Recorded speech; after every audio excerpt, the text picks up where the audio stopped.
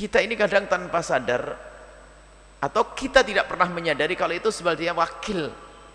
Mewakili kalau kita kalau kita pergi ke mana pun kita mewakili diri kita sendiri kita mewakili keluarga bahkan kadang kita mewakili agama.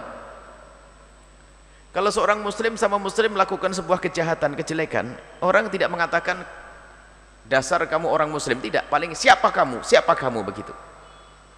Atau paling sukunya yang disebut tapi kalau seorang muslim melakukan sebuah kenistaan, kehinaan di depan orang non muslim orang non muslim langsung mengatakan dasar orang muslim. Begitu.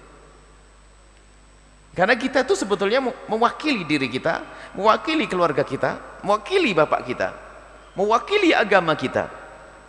Makna mewakili apa artinya? Akan jadi pandangan jadi cara memandang agama itu agama Islam tidak mengajarkan kebatilan akan tapi kalau orang itu melihat perilaku umat Islam, itu kadang yang menjadi dianggap jelek adalah agamanya. Teror tidak pernah diajarkan oleh Islam. Tapi di saat ada kaum muslimin yang mengaku Islam, mengangkat Al-Quran, hadis Nabi, tapi dia membuat teror, lihat yang menjadi dijelekkan adalah Islam. Dan begitulah kalau kita kiaskan segala sesuatu.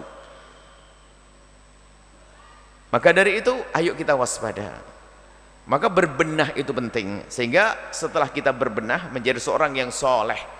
Bahasa Al-Quran yang minas solihin. Kemudian setelah itu tidak cukup kita menjadi minas solihin tapi setelah itu kita mintakan kita tingkat menjadi muslihin.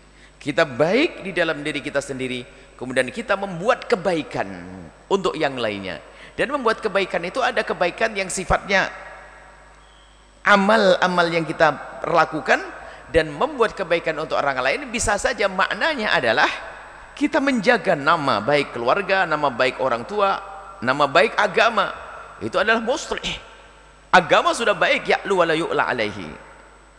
Akan tapi ketahuilah kita kalau kita berperan sesuai dengan apa yang diajarkan baginda Nabi sallallahu alaihi wasallam, kita berinteraksi, berdagang dengan akhlak yang mulia, dengan kejujuran, dengan ketawaduan, lihat kemudian kita pakai atribut-atribut Islam dari bajunya baju islami dikit-dikit menyebut nama Allah menyampaikan ucapkan salam. Lihat orang yang dia itu biarpun semula tidak pernah kenal Islam kan mengetahui kita itu beragama Islam dia akan ada ketertarikan